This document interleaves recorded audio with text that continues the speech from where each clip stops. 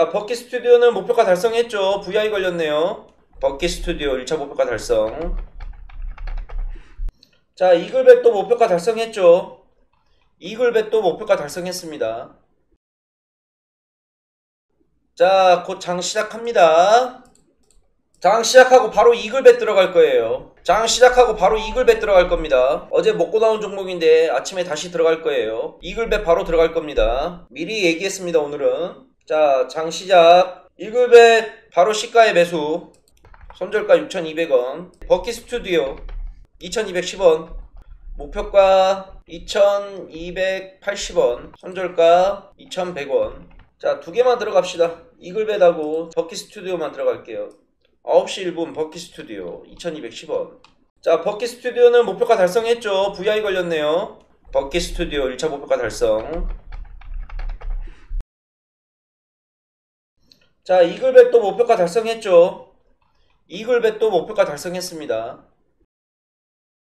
자 오늘 이글벳하고 버킷 스튜디오 두 종목 다 수익 완료시켰습니다. 지금 우리 VIP 회원님들 어찌됐건 VIP 회원님들 뭘 지금 제가 준비를 하고 있냐면 제 거 교육 영상을 지금 20개 정도를 지금 만들려고 지금 어, 커리큘럼을 짜고 있어요. 20개 정도 교육 영상을 만들어서 우리 VIP 회원님들한테 다 제공을 해드리려고 커리큘럼을 짜고 있습니다. 그 교육 내용 안에는 제가 쓰고 있는 조건 검색식도 다 공개를 할 거예요. 그 다음에 조건 검색식을 활용해서 어떻게 어떻게 매매를 아침에 찾는지 종목들을 찾는지 이러한 것들에 대한 커리큘럼을 교육 영상으로 짜서 한 20개 정도를 만들려고 생각을 하고 있습니다. 다만 이게 뭐 당장에 만들어지진 않고요. 올해가 가기 전에 무조건 2022년 안으로 어 제가 만들어서 올려놓을 거예요. 2022년 올해 안으로 올려놓을 거니까 올려놓게 되면 우리 VIP 회원님들은 시간 나실 때마다 한 번씩 그거를 좀 보면서 공부를 좀 한번 해보시길 바랍니다. 아시겠죠? 올해가 가기 전까지 제가 무조건 만들어 놓을 거예요. 그래서 지금 하나하나씩 어떤 식으로 교육을 진행을 해야 되나 라고 생각을 하고 있으니까 어찌됐건 여러분들이 1년에 100만원이라는 금액을 저한테 준 거잖아요 저희 회사에 그럼 저도 그만큼의 값어치는 해야 된다고 생각을 해서 어찌됐건 뭐라고 하나라도 더 알려드리려고 아둥바둥 하고 있으니까 여러분들 우리 VIP 회원님들 그래도 내가 100만원에 이 정도면 그래도 값어치는 하네 라는 소리는 듣게끔 할 거니까 좀 기다려 보도록 하세요 아시겠죠? 근데 여러분들 결국에는 교육 영상이라는 것도 그래요. 한 번 봐서도 이해도 안 되고 한 번 봐서 그걸 딱 본다 그래서 여러분들이 뭐 프로 트레이더가 되느냐 아니에요. 어 절대 안 됩니다. 중요한 거는 여러분들이 결국은 계속해서 실전에서 부딪혀 봐야 되고 깨져도 보고 해야 돼요. 전 제 스타일 아시죠? 제가 유튜브 방송한 지 꽤 오래됐는데 2, 3년? 3년 됐죠? 3년 정도 됐고 이거 지금 매일마다 방송한 지는 거의 어 1년이 다 돼가는데 그동안 저를 오랫동안 봐오신 분들은 아실 겁니다. 저는 여러분들한테 제가 지키지 못할 약속 같은 거 하지 않습니다. 아시죠? 제 스타일. 제가 지킬 수 있는 말만 해요. 교육 영상도 올해 안으로 무조건 만들어서 다 올려드릴 테니까 보도록 하세요. 아시겠죠? VIP 가입 문의는 위로 전화 주세요. 1833-6014로 전화 주시면 됩니다. 어, 1833-6014. 자 오늘도 코스피와 코스닥 지수가 여러분들 상승이 나오긴 하고 있는데 보시게 되면 하락 종목이 지금 1300개고 상승 종목이 800개 정도예요. 하락 종목이 더 월등히 많습니다 오늘도. 오늘도 뭐 시장이 그렇게 썩 좋지는 못해요.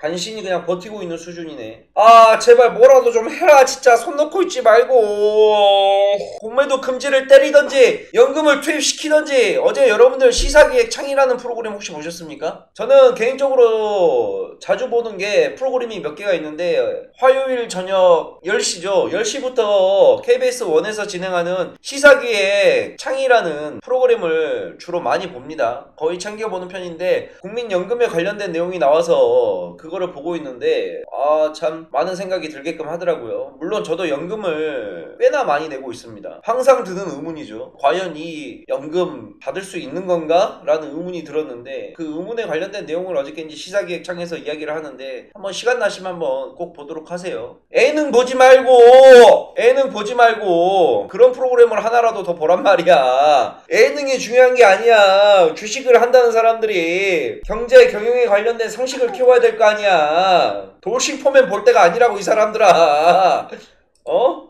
자 이글백 같이 공부해 보도록 할게요. 이글벳은 어제도 아침에 들어가서 어, 시원하게 먹고 나왔고 어제 이글벳이 아침에 들어가가지고 거의 한 15% 16% 어, 매수가 대비 15% 16% 상승이 나왔었죠. 어, 자 그리고 오늘도 아침에 들어가가지고 아침 동시효과 때 들어가가지고 제가 어, 못해도 한 4, 5%는 어, 챙겼을 거라고 봅니다. 이글벳 어제와 오늘 두 번 들어가서 두 번 다 수익을 실현하고 나왔는데 어제 제가 이글벳을 여러분들한테 드렸을 때 이 장기 이동 평균선 61선과 이 121선 근처에 왔을 때 그랬을 거예요. 이거 한 번에 뚫어내기 어렵다. 아마 꼬리 만들고 밀릴 거다. 혹시나 들고 계신 분들은 욕심내지 마시고 다 매도해서 수익 챙겨라라고 제가 어제 분명히 얘기를 해드렸습니다. 어제 방송 가서 풀 영상 있으니까 보시면 알 거예요. 제가 그 말을 했는지 안 했는지. 자, 그랬는데 오늘은 왜 아침에 또 동시효과 때 바로 진입을 했느냐? 여러분들 보통 보세요. 이글배 차트를 보시게 되면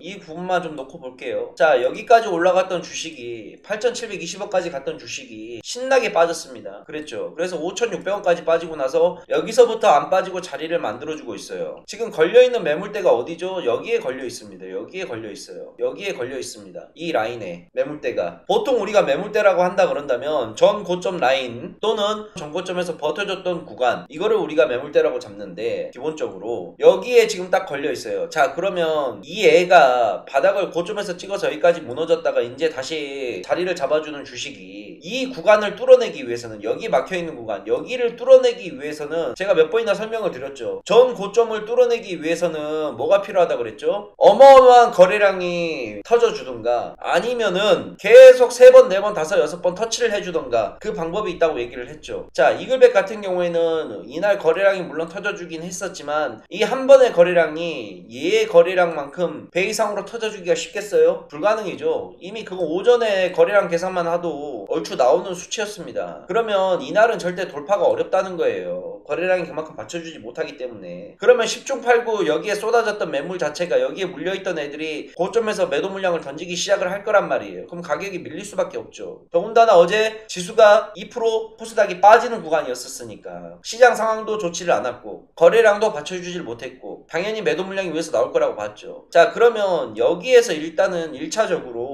매도 물량이 생각보다 많이 나오게 되면서 상승폭을 많이 반납시켰습니다. 그죠? 어제 차트만 보면 딱 답이 나오죠. 상승폭을 상승 장중에 16%까지 17%까지 갔던 종목이 상승폭을 다 반납을 하고 빠지면서 시가보다도 더 아래로 내려오게 되면서 종가 기준으로 놓고 보게 된다 그런다면 상승폭을 다 반납하고 오히려 하락으로 마감이 됐어요. 그거는 뭐냐? 그만큼 어마어마한 실망 매물과 그만큼 어마어마한 매도 물량이 나왔다는 걸 얘기를 하는 거예요. 자, 그런데 오늘 다시 들어간 이유는 뭐냐? 아침에 동시효과를 봤더니 얘가 동시효과가 안 빠지는 거야. 아침 57분까지 지켜봤는데 57분까지도 얘가 동시효과가 안 빠지는 거야. 애가 만약에 동시효과에서 파란불이 한 번이라도 들어왔다 그런다 그런다면 난 이걸 안 들어가지. 시가가 낮게 시작을 한다 안 들어가지. 근데 동시효과 때부터 동시효과 때부터 안 빠지는 거야. 57분까지 지켜봤는데도 매도 물량이 안 나오네. 야 이거는 반등 나온다. 어제 빠진 것만큼 얼마가 올라갈지 모르겠지만 최소 2, 3%는 무조건 반등 나온다. 그래서 판단이 들어서 오늘 아침에 여러분들한테 장 시작 전에 57분 때부터 58분 때부터 얘기를 했어요. 이글벳 들어갈 거다. 동시효과 때 시가로 들어갈 거다. 시가가 낮게 시작을 했으면 예를 들어서 1% 정도만 시작을 했다 그런다면 금상첨화였을 텐데 얘가 갑자기 59분이 되니까 매수 물량이 들어오더라고.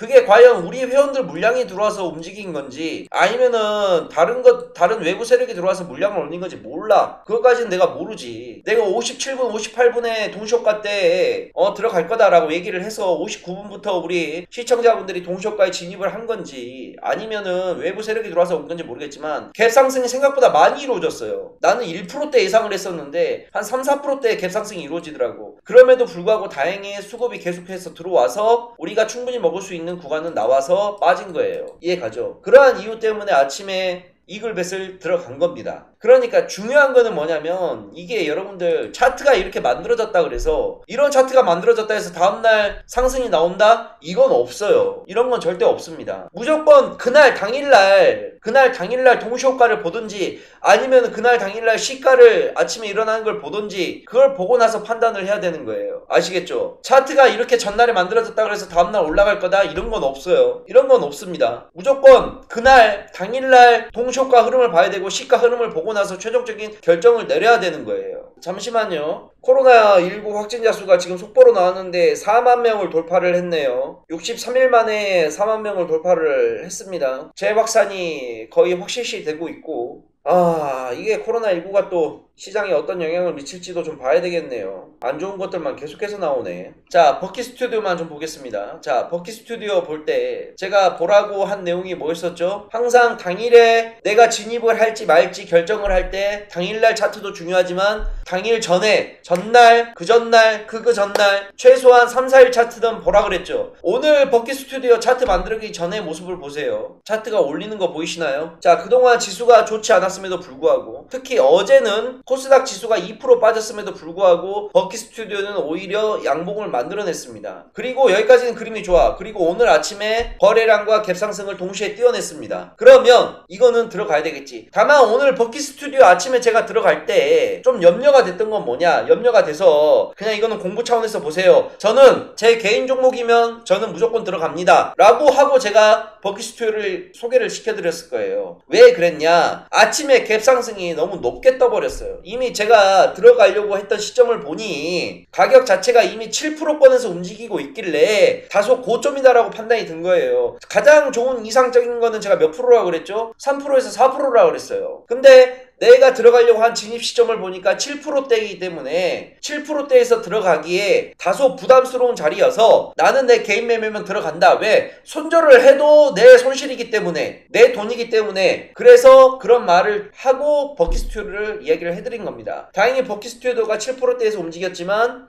시작을 했지만 다행히 가격대가 계속해서 올라와서 장중에 14% 15%까지 올라가서 결과가 좋게 마무리가 되었어요. 그러니까 이런 거는 아침에 일찍 발견하는 사람이 먹는 거야. 내가 버킷 스튜디오를 아, 한 1분, 2분만 더 일찍 발견을 했더라면 3%는 더 먹고 들어가는 거지. 6% 수익 볼 거 9% 수익을 보게 되는 거지. 그래서 아침에는 굉장히 빠른 시점으로 빠르게 종목들을 찾아놔야 되는 겁니다. 무슨 말인지 아시겠죠? 그래서 차트를 보고 분석하고 진입 시점까지 생각하는데 걸리는 시간이 1초에서 2초를 넘어가면 안 돼요. 그래서 단타가 굉장히 어렵다는 겁니다. 근데 결국에는 이러한 것들은 늘 결론은 뭐다. 내가 아무리 백방 교육하고 뭔다 하더라도 이거를 바로 여러분들이 실전 생활에 실전 매매에 적용시킬 수 있느냐? 죽었다 깨어나도 안 된다니까요. 방법은 하나뿐이야. 여러분들 짬을 키우는 수밖에 없어. 계속 눈에 봐야 돼. 계속해서 용정이 매일마다 종목 해주는 거, 무료 추천해주는 거 보고 왜 들어갔는지 이유를 설명하고 분석을 해주게 되면 여러분들이 차트를 앞으로 다른 걸 보실 때, 어, 이거는 저번에 용정이 말했던 데랑 비슷하게 흘러가네? 이거는 용정이 많이 언급했던 차트의 유형인데? 이런 것들이 머릿속에 감으로 남게 시작을 하게 돼요. 그렇게 되면 어찌됐건 여러분들이 실력이 지금보다는 일신 또 일신 할 수가 있는 기회가 될 수가 있다고 저는 생각을 하기 때문에 무르추 종목을 하는 거예요. 여러분들 돈 벌려고 아침마다 떼부자 만들려고 이거 무르추 종목을 하는 게 아니라 자 VIP 회원님들 메시지 하나 보내드릴게요. VIP 회원님들 메시지 하나 보내드렸습니다. 종목 관련해가지고 VIP 관련 종목 해가지고 메시지 보내드렸으니까 리딩대로 하세요. 자 아시겠죠? 아무튼 오늘 이러한 이유 때문에 여러분들에게 이글백과 버키 스튜디오를 소개를 시켜드린 겁니다. 어찌됐건 두 종목 들어가서 두 종목 다 마무리를 지었어요. 자, 오늘은 여기까지만 좀 진행을 하도록 하겠습니다. 고생들 하셨습니다. 오늘 복습하세요. 오늘 왜 이글백과 버키 스튜디오를 들어갔는지. 자, 오늘은 여기까지만 하겠습니다. 고생들 하셨고, 내일 아침에 8시 30분에 다시 뵙도록 하겠습니다. 항상 방송 찾아와 주셔서 감사합니다. 들어갈게요. 안녕!